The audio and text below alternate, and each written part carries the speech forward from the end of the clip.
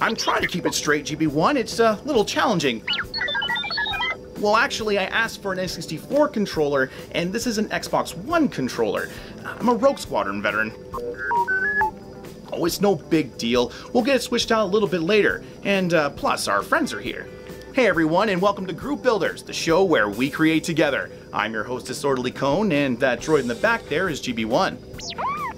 We were just test piloting our brand new Zorii's Y-Wing fighter from the Metal Earth Rise of Skywalker collection, and it's proving to be a little bit difficult, much like the build itself. Well, that's right. A lot of builders out there are absolutely loving the new Star Wars models with all of their new detail. But with that new detail comes a lot of complexity. In this episode, we're going to look at all the little bits that you might want to know before building your own Y-Wing fighter, and of course answer, does this build get the Groove Builder seal of approval? Well, that's actually a really good question. Let's get started on the workbench. Groove Builders, welcome to the workbench. We have our Metal Earth Star Wars Zorii's Y-Wing fighter, and I am so excited to finally be holding a Y-Wing in my hand from Metal Earth. This has definitely been long awaited, and now that I'm holding it in my hand, looking at all this detail, I think we're going to be in for quite a build. Groovers, let's go ahead and take a look at the back. On the back, we get a brief look at our model, followed by a QR code we can scan to get a 360 look at our build. This will come in handy when we're putting different parts of detail onto our build. On the right here, we get some instructions on how to build our model, and finally at the bottom, we get a look at some other models in the series. Hey, look, there's D-O. Alright Groovers, let's go ahead and open up our package.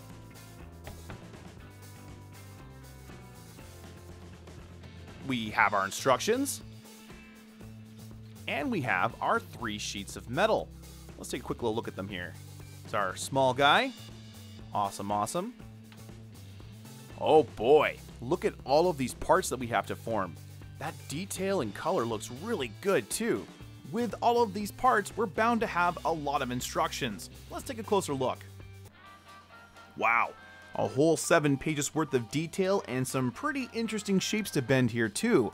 No wonder so many builders out there are having such a hard time. I can already see some things that we should take a closer look at. Don't worry though, we got this. Let's start with the basics. First things first, these metal models require us to cut out our pieces, then shape them using whatever we can.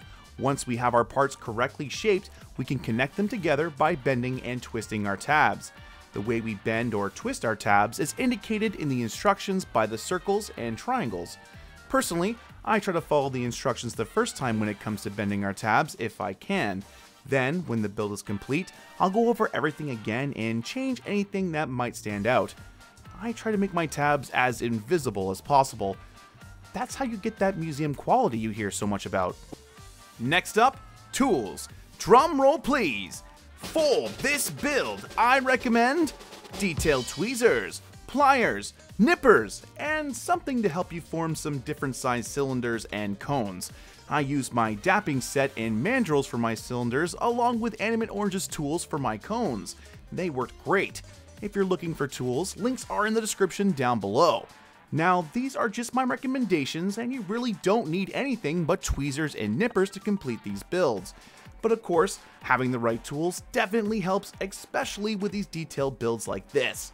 Alright, we've looked at our instructions, and we have our tools. There's only one more thing left to do. I, I really need you to press the like button to stabilize the Y-Wing. Just do me a favor, press the freaking like button! Thank you. Alright, let's continue on with the build. The first thing that we need to talk about when it comes to building this fighter is all of the small pieces to form and attach to parts 1 and 23. That's the bottom and top of our Y-Wing, where we will be spending a lot of our time with this build. The good news? Most of this detail is pretty straightforward and box-like. All we need to do is bend the pieces right at the fold lines and match up the edges accordingly. Like in part 3 here, we bend the edges of the piece that are attached first, then match up the borders with the loose metal so we have no seams. Some of the detail is kind of hard to get shaped correctly because it's either too thin or small.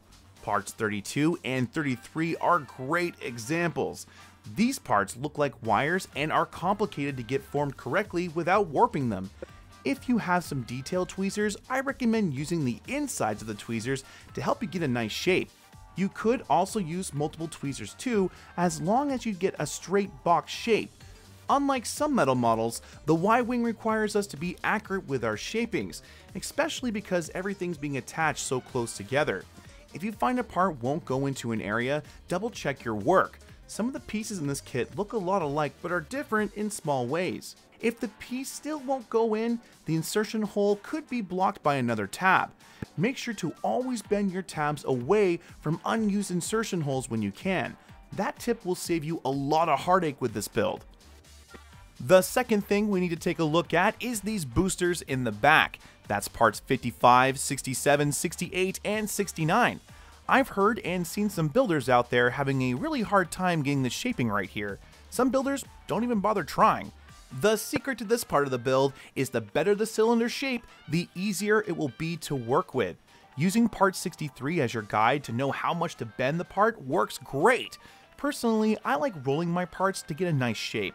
If you try this method at home, the trick is to apply even pressure across the tool while pressing it down into the piece. Make sure the surface you're pressing down on has some give, like my mouse pad here, or even a phone book, so the part can bend around your tool when you press down. I always start with light pressure first, and then slowly add more pressure to get the shape I want. This method also works great for cone shapes like with parts 60 and 61. Speaking of those, you'll need to be very careful from now on adding parts to your Y-Wing because details like part 56 bend super easily with barely a touch.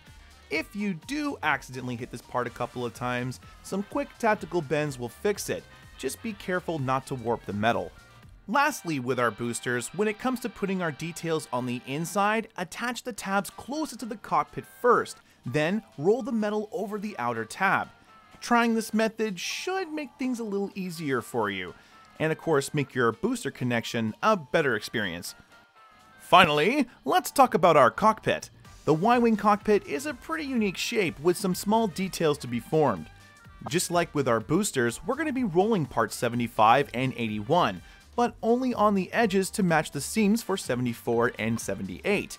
Use these parts as your guide to form the cockpit correctly. With the next couple of parts, pre-bending your tabs to get them into place is a great idea to save time. To pre-bend your tabs, simply bend one tab 90 degrees and the other between 60 and 70. Insert the 90 degree tab first, and the second one should pretty much fall into place.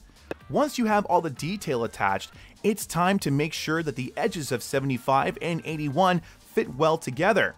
If the cockpit looks like it's pulling apart, bend the edges on the outside a little bit more. You want the cockpit to sit well together when it's resting so that when you secure the tabs, they stay closed. Gaps are super noticeable here on the front. Rush it, and you might have what looks like a giant space clam on your hands. Take your time, and you'll have a really nice Y-Wing fighter like this. Okay, this was quite the mountain to climb, both with building and flying. And now for the most important part. Does Zorii's Y-Wing fighter from the Metal Earth Rise of Skywalker collection get the Groove Builder seal of approval? Ah, yes it does! and it gets it for quite a few reasons. The Metal Earth team has done a fantastic job this year with listening to the community in terms of what we've been wanting. A lot of us out there have been asking for more colored models and to have more detail in them as well. Well, the Y-Wing here is a great example of what everyone has been wanting. Not only is there tons of detail for us to form here, but the coloring on the detail really looks nice. Not to mention the fact that most builders out there put magnets into their stands to be able to take their ships on and off of them. But with this new setup, there's no magnets required because these come off really easy. I mean, this just sits on top here and uh, you can make it uh, bend out a little bit to hold it better, but that's really awesome. And I really do think it's the little details like this that have made this series so nice. But with all of this new small added detail, it adds a new layer of complexity which is great for experienced metal model builders out there, but might be a little bit too much for the new ones out there. And that's why I really can't recommend this build for new builders out there. I would definitely recommend trying some other builds before coming to this one. There is some shapings here which might turn you off the hobby altogether, especially with the back boosters. Alright Groove Builders, that brings us to the end of our show. I really did enjoy building the Y-Wing with you, and if you guys had a good time, don't forget to press that like button. For more videos like this, hit subscribe as well, as we got all kinds of cool content coming out in the future. Of course, if you're looking to build the Y-Wing yourself and want some more instruction, check out my full build right here. Until next time, Groove Builders, keep building. Now, I'm gonna go put this next to my Millennium Falcon. Awesome.